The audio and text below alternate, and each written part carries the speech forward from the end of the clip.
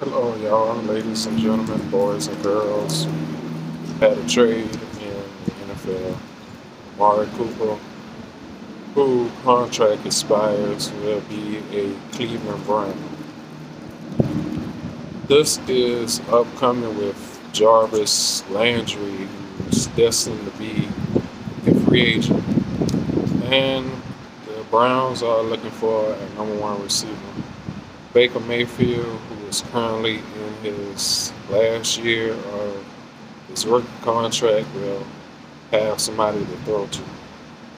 Moving on from Odell Beckham, who gave it his all, stayed hurt, played a little portion of last year, well, two years ago now, but it has been a season of turmoil for Cleveland Browns, who have Kareem Hunt and are just looking for a number one receiver.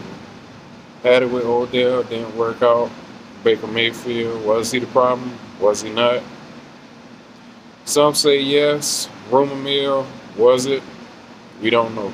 We don't know for sure. We wasn't in the locker room. We're not in the team. We are just broadcasting on YouTube channel. So with that being said, the Dallas Cowboys are looking for a number two receiver. CeeDee Lamb will be moving up to number one. And we'll see how everything works out for the Dallas Cowboys. In the preseason, we will crank it all back up in August. Starts at the first preseason game. We will see how everything March to August. Hope y'all enjoy. Like, comment, share.